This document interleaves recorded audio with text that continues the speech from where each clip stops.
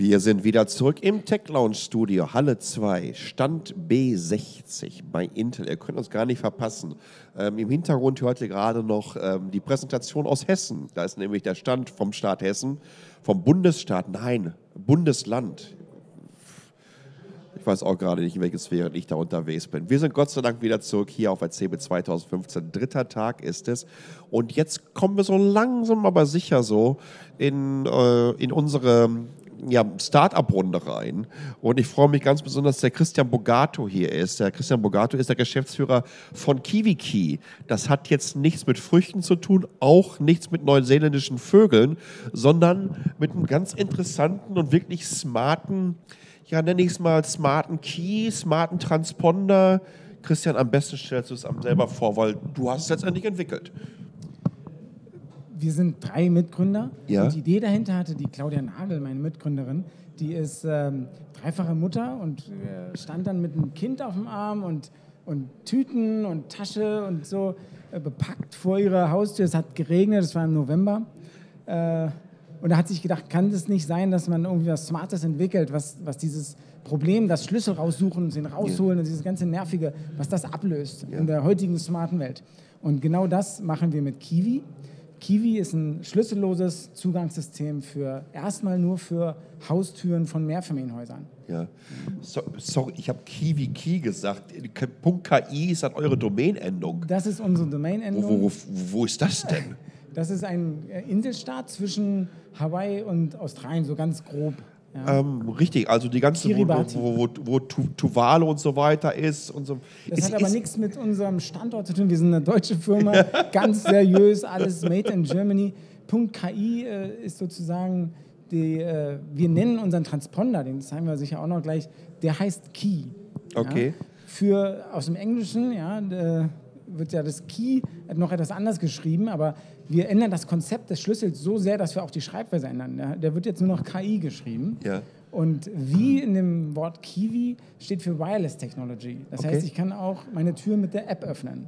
Also entweder mit dem Key oder mit der App. Und kiwi.key ist sozusagen dann ein schönes Wortspiel, dass wir unseren eigenen Transponder eine, äh, eine Domain quasi gegeben Man haben. Man munkelt, ihr habt euch richtig was bei dem Namen gedacht. Das wolltest du eigentlich damit sagen. Äh, genau, genau, richtig. Ja. Das Produkt heißt aber Kiwi. Ja, ja. also er, erzähl mal, du hast gerade schon das Szenario abgebildet. Ähm, ihr macht also ein Team, mit dem ich, ähm, mit dem ich äh, wireless, also kabellos, ähm, elektronisch meine Tür öffnen kann. Das kann ja. ja, das habt ihr zum einen hier, wir zeigen das mal ganz kurz hier in die Kamera. Zum einen habt ihr das über so einen Transponder abgebildet. Das ist euer Key. Ich sollte ihn vielleicht mal. Du musst ihn umdrehen. Oh. Ja. Kannst ihn so. ruhig runterwerfen, der ist sehr robust. Okay. Jetzt ja. könnt ihr es sehen.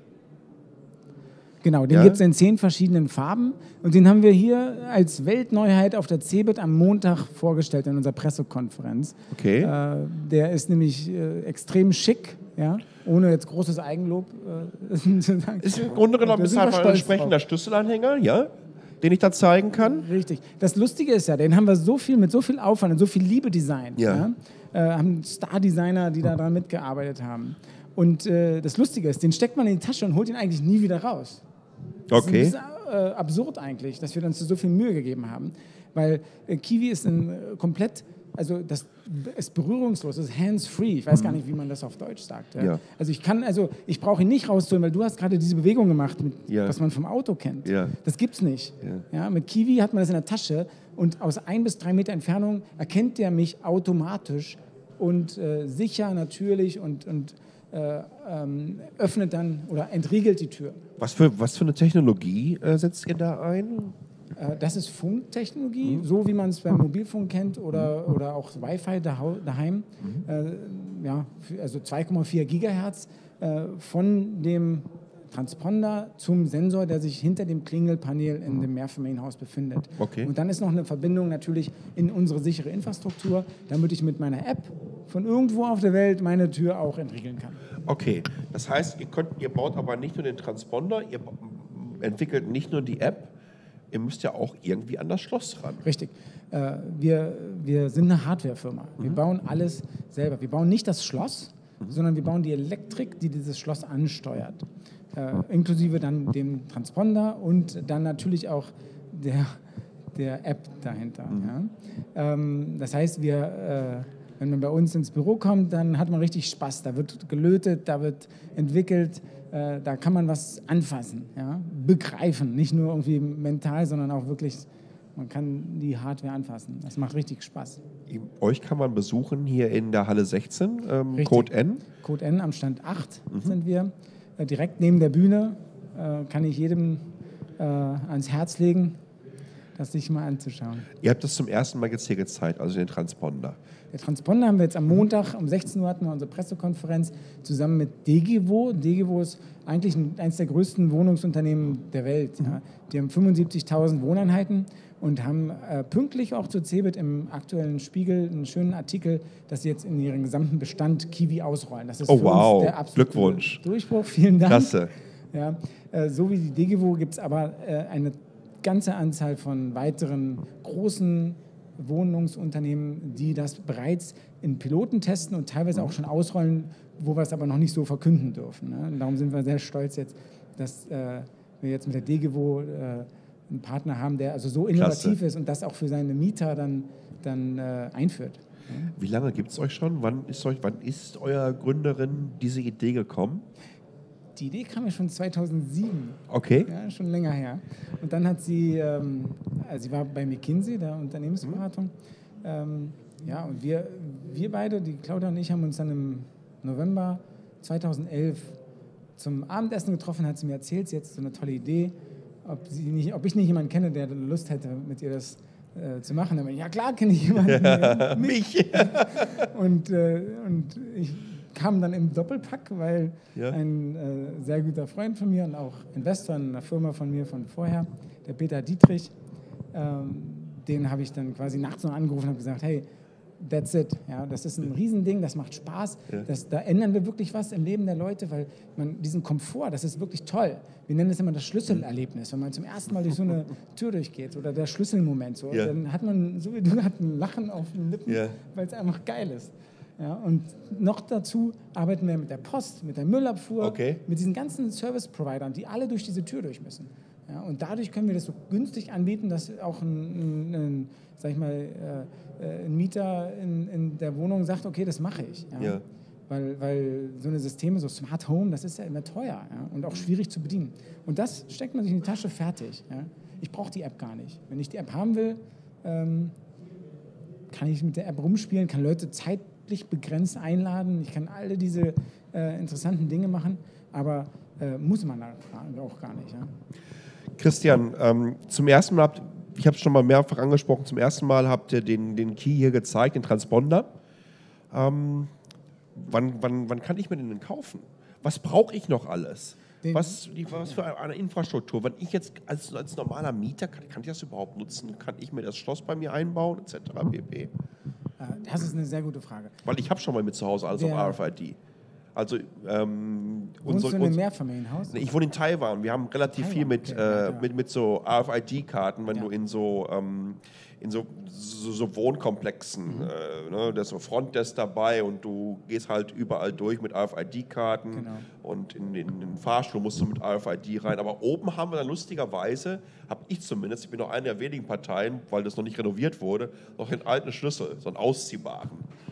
Ausziehbarer Ja, ja, ich hab auch- ich Hast hab- du den gerade da? Ich. Ich, ich, zeig, ich zeig dir den gleich mal. Cool. Äh, kann mir gleich mal vielleicht einer meinen Rucksack geben, da habe ich den drin. Dann gucken wir uns, dann gucken wir uns den vielleicht auch mal an. Ähm, cool. Der, mit, der mit, mit, dem, mit den weißen Schildern dran. Wenn du mir den gleich mal rübergibst, dann zeige ich dir mal aus, einen, einen ausziehbaren äh, Schlüssel. Ja, Ähm, also die RFID-Karten, die gibt es natürlich schon lange. Ja? Mhm. In, in Asien und anderen Ländern auch oft im, im privaten Bereich, im Wohnungsbau. Aber in äh, Deutschland ist es sozusagen sehr fokussiert auf äh, Unternehmen, Mhm. Gewerbe, die haben sowas.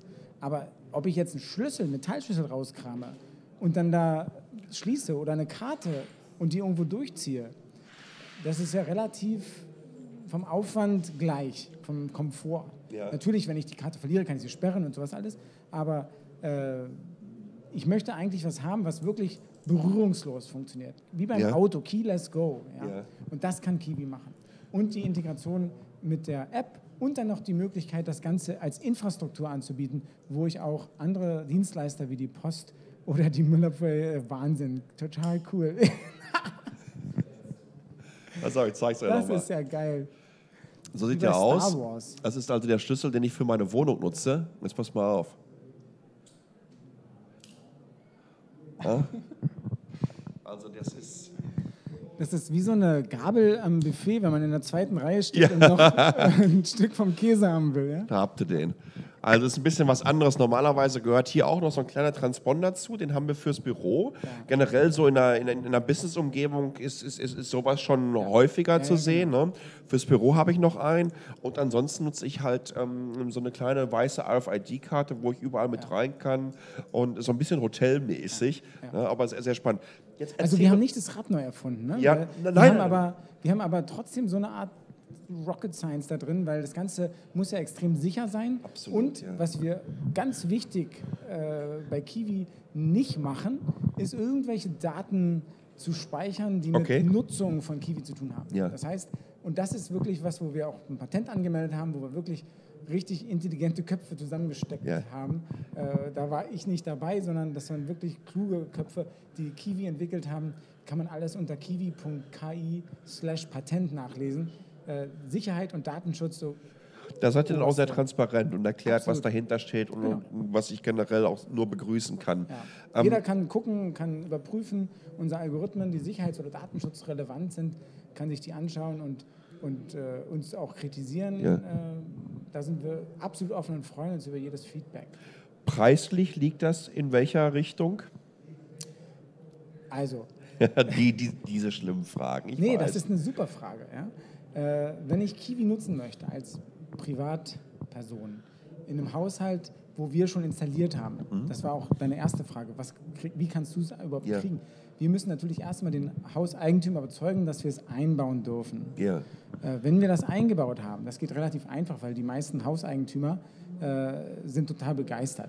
Die Das macht ihr auch. Also ihr habt, ihr kommt Ja. vorbei und ja, baut- richtig. Okay. Mit unseren Partnern. Wir haben einen sehr guten Partner, äh, Conrad Electronic. Okay. Die haben den Klappmeister-Service. Das ist unser deutschlandweiter Partner Ja. für Installationen. Damit können wir natürlich auch überall äh, deutschlandweit skalieren, also überall einbauen.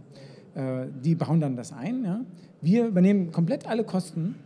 Äh, und dann, wer es nutzen will, zahlt uns monatlich Geld dafür. Okay. Als, als sozusagen Nutzungsgebühr. Drei Euro kostet es Ja. denken wir, es ist überschaubar. Natürlich ist es wieder so ein, so ein zusätzliches monatliche Belastung. Man kann das auch sagen, Ja. ich will damit nichts zu tun haben, ich zahle jetzt für zwei Jahre das Ganze und dann ist gut. Und nach zwei Jahren muss man halt schauen. Ein, ein Telefon kauft man sich auch nach zwei Jahren neu, ehrlich gesagt. Ne?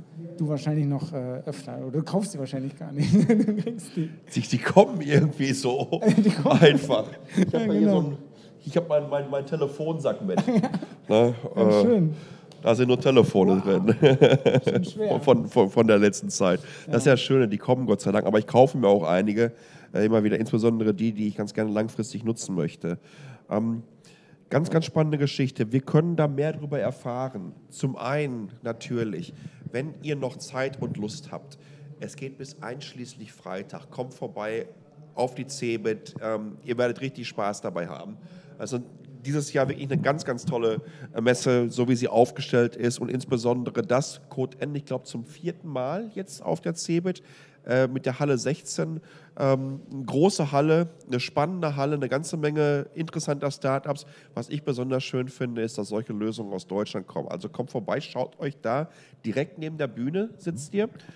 Stand Nummer 8. Der Stand Nummer 8. Die Stände sehen alle gleich aus, alle im gleichen Design. Es sieht auch Ja. toll aus. Das ist wieder so dunkel. Ich, ich, dürfe, bisschen dunkel, ich, ja. ich, ich, darf ja hier nie raus. dunkel äh, in der Halle und die haben so ein schönes Grün. Da haben wir sie darum gebeten, weil unsere Farbe ist ja auch grün. Äh, und dann haben die halt das Habt Design. ihr gewonnen, ne? Ja, nein, Spaß. Natürlich äh, reiner Zufall. Ja. Aber natürlich. ansonsten kiwi.ki, schaut euch das an, äh, was es da Interessantes gibt. Dir vielen, vielen Dank und viel, viel Glück und nochmal eine tolle Erfolgsstory. Schön, dass das so geklappt hat und schön, dass ihr auch hier auf der Code N seid. Wie sieht's, habt ihr da gepitcht auf der Code N? Äh, ja, mehrmals, jetzt dreimal schon. Da, da gibt es aber noch auch, ein, man kann doch auch gewinnen und so weiter. Ne? Heute Gibt- Abend äh, ist dann die Zeremonie sozusagen. Wenn wir Glück haben, dann Gefühl? gewinnen wir. lief gut bisher? Da sind super Startups dabei und äh, klar, wir haben ein tolles Geschäftsmodell, aber unser Geschäftsmodell ist es nicht, Preise zu gewinnen, sondern wir wollen äh, die Herzen unserer Kunden gewinnen und wir wollen äh, Häuser ausstatten eigentlich. Ganz, und wenn ganz- wir heute Abend gewinnen, freue ich mich riesig. Ganz, ganz guter Punkt. Team. Alleine deswegen haben sie schon verdient, den Preis zu gewinnen, weil das hört man ganz, ganz selten. Ähm, das war äh, Kiwi. Kiwi.ki bekommt ihr alle Informationen. Wir machen jetzt ein kleines Päuschen und äh, dann schauen wir uns an, was Nicole auf dem Stand von Digitalstrom gemacht hat. Denn ratet mal, wer danach hier ist. Gerd Vesper von Digitalstrom, der Geschäftsführer, auch ein langjähriger Unterstützer hier von der Tech Lounge. Und wir reden, ratet mal, über Smart Grids, über Smart Home. Und was für eine großartige Brücke, die wir jetzt hier schlagen. Gerade vom smarten Key rüber zum Smart Home. Passt wunderbar zusammen. Vielleicht sollten die beiden mal eben gleich noch kurz noch ein paar Kärtchen austauschen. Wir sind gleich wieder da. Bis gleich.